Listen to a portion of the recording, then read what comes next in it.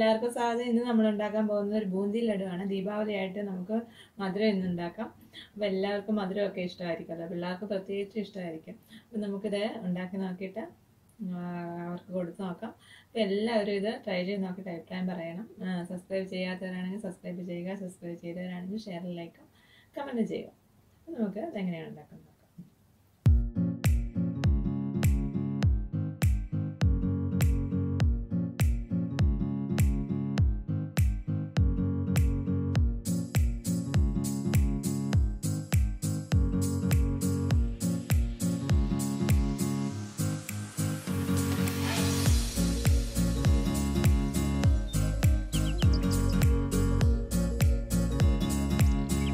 ഉണ്ടാക്കാൻ പോകുന്നത് ഒരു ബൂന്തി ലഡുവാണ്. ബൂന്തി ലഡുവിന് നമ്മൾ ഒരു കപ്പ് കടലമാവാണ് എടുത്തിരിക്കുന്നത്. ഈ കടലമാവിന്റെ കൂടെ നമ്മൾ ഒരു പിഞ്ച് സാൾട്ടും കൂടി ചേർക്കുന്നു. ഉപ്പ് ഉപ്പ് നമുക്ക് ചേർക്കുന്നത് ഇത് ലഡു ആകുമ്പോൾ നല്ല മധുരം കാണുമല്ലോ.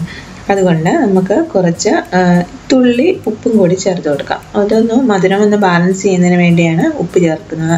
കൂടിപ്പോകല്ലോ എന്നിട്ട് നമുക്ക് അതിന്റെ ഒരു കൺസിസ്റ്റൻസി ഉണ്ട്. ഒരു മീഡിയം കൺസിസ്റ്റൻസി ആക്കാൻ വേണ്ടി ഒരു നമ്മുടെ ഇഡലിയൊക്കെ ഉണ്ടാക്കുന്ന ഒരു ഇഡലി മാവിന്റെ ഒരു ആ കൺസിസ്റ്റൻസിയോടൊത്ത് നമുക്ക് ഈ ബാറ്റർ ശരിയാക്കണം. അതിന് വേണ്ടി നമുക്ക് ആവശ്യത്തിനനുസരിച്ച് കുറച്ച് കുറച്ച് ആദ്യം വെള്ളം ഒഴിച്ചു കൊടുക്കുക. എന്നിട്ട് അതൊന്ന് മിക്സ് ചെയ്യുക. മിക്സ് ചെയ്ത് നമുക്ക് അറിയാൻ പറ്റും അത് ഒത്തിരി തിന്നാകാൻ പാടില്ല ഒത്തിരി തിക്കാകാനും പാടില്ല ഈ മിക്സ് അപ്പോൾ ഒത്തിരി തിക്കായി പോയെങ്കിലും ഈ ബൂന്തിയുടെ റൗണ്ട് ഷേപ്പ് കിട്ടില്ല തിന്നായെങ്കിലും അത് നീണ്ടിരിക്കും. നീണ്ടുപോകും. അപ്പോൾ അതിനനുസരിച്ച് വേണം നമുക്കിത് ഈ ബാറ്ററി ശരിയാക്കാൻ.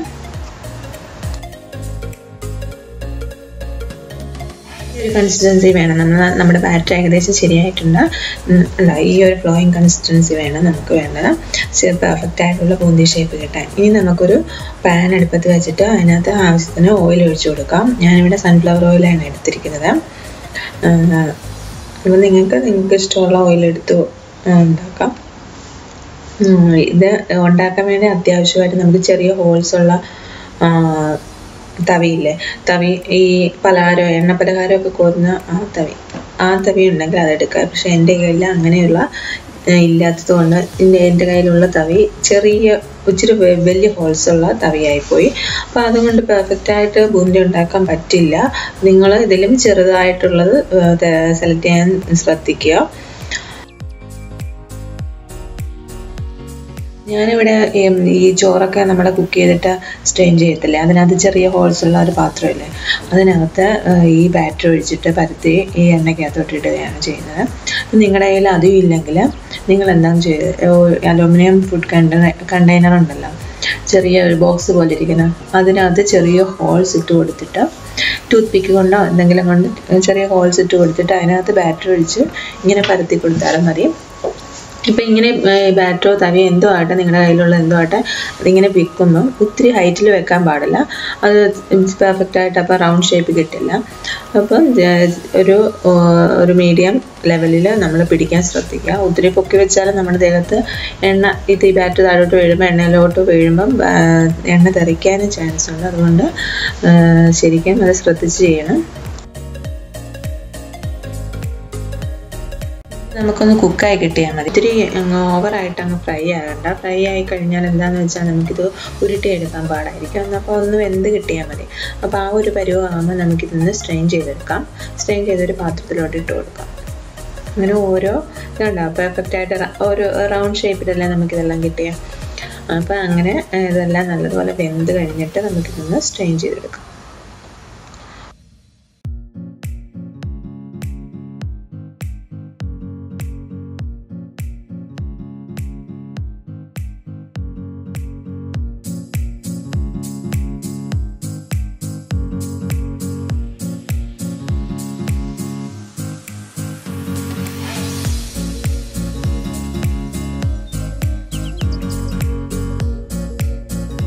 ഇതിലാടിലും ഈ സ്ട്രെയിനറും ഒന്നും ഇല്ലെങ്കിലും നിങ്ങൾക്ക് ഈ ഫുഡ് കണ്ടെയ്നർ വെച്ചിട്ട് ചെറിയ ഹോൾസ് ഇട്ടിട്ട് ഇതുപോലെ ബാറ്ററി ഒഴിച്ച് കൊടുത്തിട്ട് ബൂന്തി ഉണ്ടാക്കാൻ പറ്റും. അങ്ങനെ ട്രൈ ചെയ്ത് നോക്കുക.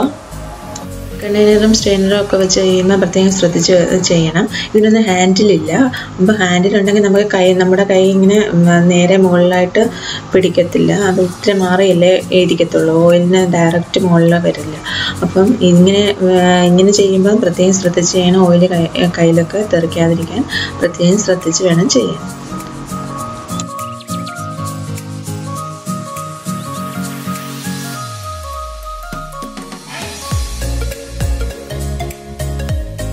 ബൂന്തിനെ നമ്മൾ വറുത്ത് കോരി വെച്ച് മാറ്റി വെച്ചേക്കാം. ഇനി നമുക്ക് നമുക്ക് ഷുഗർ സിറപ്പ് തയ്യാറാക്കാം. അതിന് വേണ്ടി ഒരു കപ്പ് പഞ്ചസാര എടുത്തിട്ടുണ്ട്.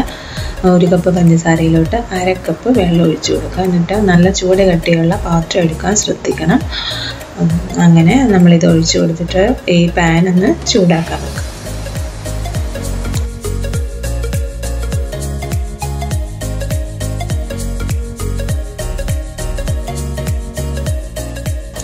പാൻ അടുപ്പത്ത് വെച്ച് നമുക്കിനി സ്റ്റൗ ഓണാക്കി നോക്കാം. ഒരു പരുവ ആവുന്നിടം വരെ വൺ സ്ട്രീം കൺസിസ്റ്റൻസി എന്നൊക്കെ പറയും. ആ ഒരു പരുവ് ആവുന്നിടം വരെ നമുക്കിതൊന്ന് തിളപ്പിച്ചെടുക്കണം.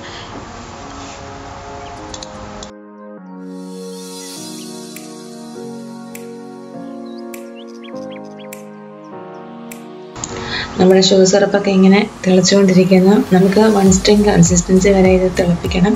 ഇനി നമുക്ക് ഇതിനകത്തോട്ട് ഒരു ഇത്തിരി കാൽ ടീസ്പൂൺ മഞ്ഞൾപ്പൊടി ആഡ് ചെയ്യുന്നുണ്ട്.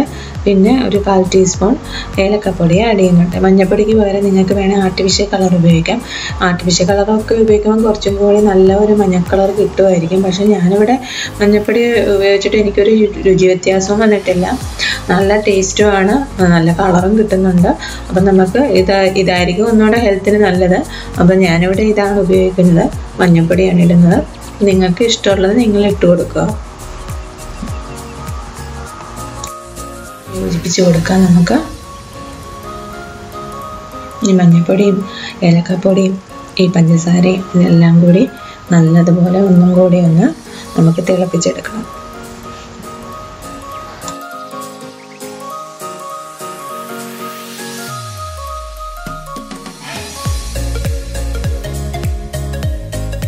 ഒട്ടുന്ന പരുവമായിട്ടില്ലേ ഈ ഒരു വൺ സ്ട്രിങ് കൺസിസ്റ്റൻസി എന്ന് പറയാം. അപ്പോൾ ഈ ഒരു പരുവാകുമ്പോൾ നമുക്കിതിന്റെ ഫ്ലെയിം ഓഫ് ചെയ്ത് കൊടുക്കാം.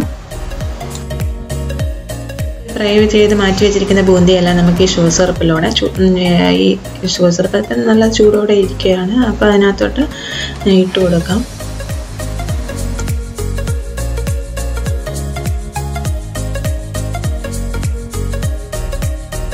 ഷുഗർ സിറപ്പും കൂടി നല്ലതുപോലെ അബ്സോർവ് ആകാൻ വേണ്ടി നമുക്കിതൊന്ന് മിക്സ് ചെയ്ത് കൊടുക്കാം.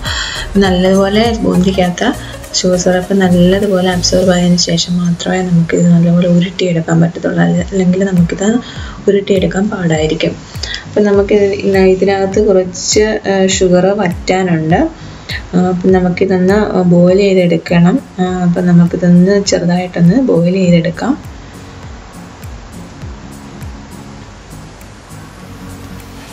ഇപ്പം ഇങ്ങനെ ബോയിൽ ചെയ്യുമ്പോൾ നമ്മൾ എളുപ്പത്തിൽ ഈ ഷുഗർ സിറപ്പെല്ലാം ഈ ബൂന്തിയിലോട്ട് അബ്സോർവ് ആയിക്കോളും.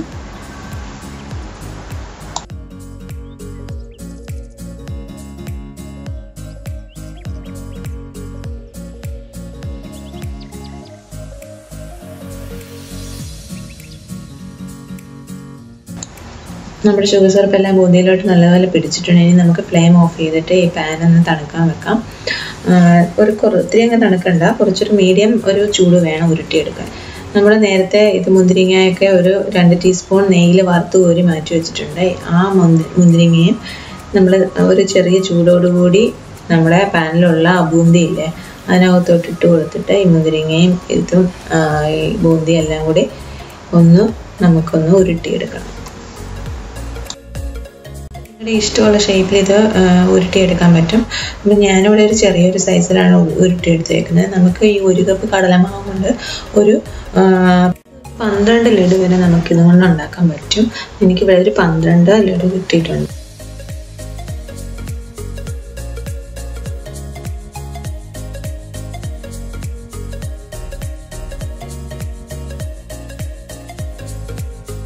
ഇവിടെ രുചികരമായ ലഡു ഇവിടെ റെഡി ആയിട്ടുണ്ട്. ഇത് നമുക്ക് ഫെസ്റ്റിവൽ സീസണൊന്നും അല്ലാത്തപ്പോഴും എപ്പോഴും എപ്പം വേണേലും ഉണ്ടാക്കാവുന്ന ഒരു സിമ്പിളായിട്ടുള്ള ഒരു ലഡു ആണ്.